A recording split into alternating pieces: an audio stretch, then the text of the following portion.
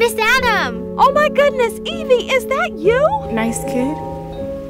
Yeah, she is. We just wanted to join you today. Have a little get together. Hey, I didn't pay you for a frisbee player. Oh, well, there's a lot you don't know about me. Excuse me, excuse me. Has anyone seen a little girl about so tall, pigtails, black hair? She's missing. Her father can't find her. Where are you?